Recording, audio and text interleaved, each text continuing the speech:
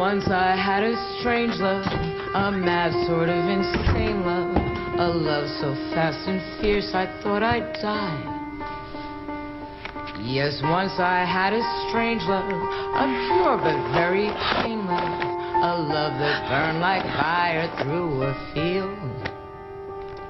And once I had a strange love, a publicly acclaimed love, the kind of love I've seen in magazines. Was that strange love, that vulgar and profane love, the kind of love that we don't talk about. You see, I've had some strange love, some good, some bad, some plain love, some so-so love.